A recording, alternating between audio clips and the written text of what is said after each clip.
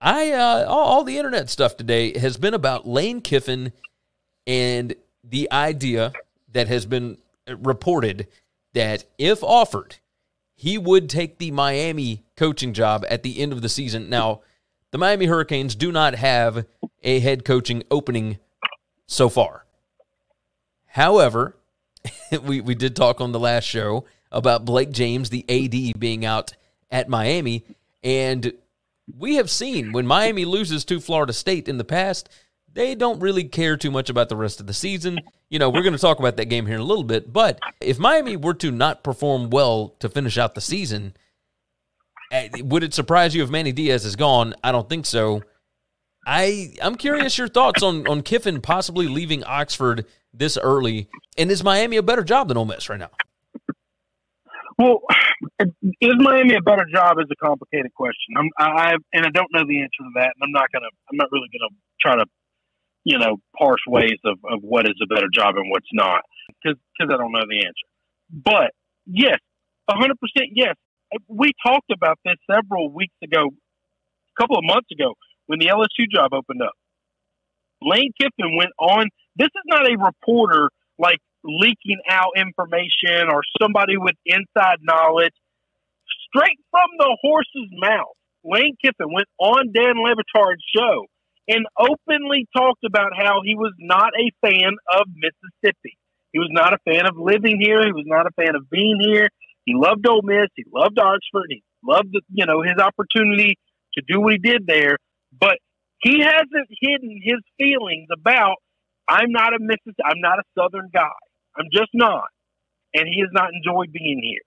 So that that's straight from him. And the day I heard that, I immediately texted you guys in the group. We talked about it on the show. That I, I thought when Lane got hired, because he had been not just a failure at other places, but also kind of a laughing stock and and kind of the butt of the joke for a while. That he was not going to be leaving Oxford anytime soon at all. I was wrong. That was a couple of months ago, and and, and I stand by it. I, I'm going to tell you from people that I know close to the situation at LSU that if LSU offers Lane the job, Lane would crawl on his hands and knees to Baton Rouge to take it.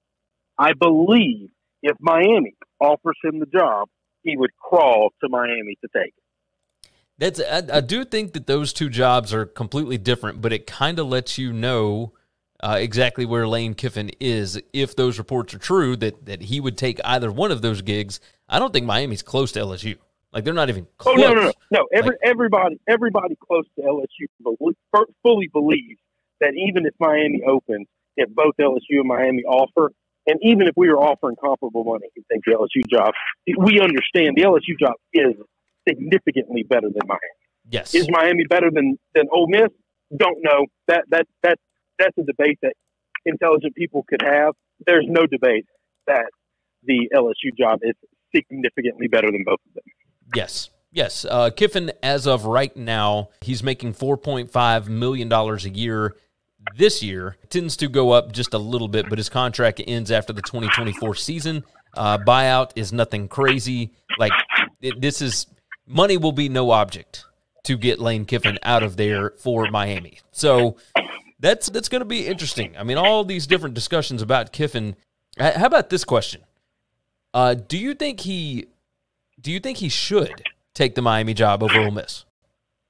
Yes. Okay. Give me give me some give me some reasons here. Is it just because you can't do this over and over with Ole Miss, you know, year after year? Because it, I mean, they could go ten and two this year. Now, obviously, we're not talking up wins, but how often are you okay. going to go ten and two at Ole Miss, right?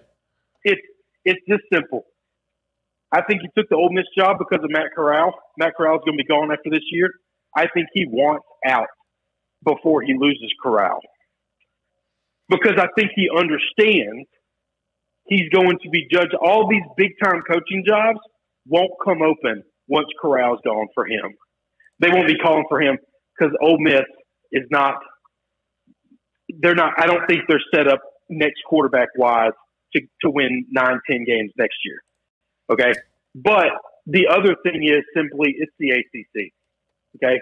For some reason, people still respect it as a quote unquote Power Five conference when it is hot garbage. And he, I think everybody in the world thinks if you go to Miami and you go undefeated at Miami, this is not going undefeated at Wake. All right. Yeah. It's just not. And if you can win there, then you can win for you can compete for a national championship. Yeah, no, you're uh, you're 100 percent right about that. So I he, I think he would absolutely be a fantastic fit at Miami. He could bring some of that swag back, that swagger that that Miami used to carry around.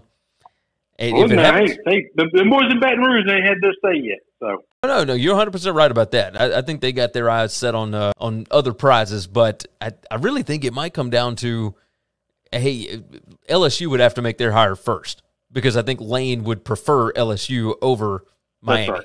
So we'll we'll see what or, happens. Or Lane has been Lane has been clearly told you're not getting this job. Yo, you ain't getting this job. Period. Yeah, yeah, yeah that's, that's, entirely possible. That's Thanks for listening to the Winning Cures Everything podcast. The website is winningcureseverything.com, and if you want to connect with us, we're on Twitter at GaryWCE, at Chris B. Giannini, at Winning Cures, or you can email us, Gary at winningcureseverything.com or Chris at winningcureseverything.com. Subscribe everywhere you need to subscribe, and we'll see you soon.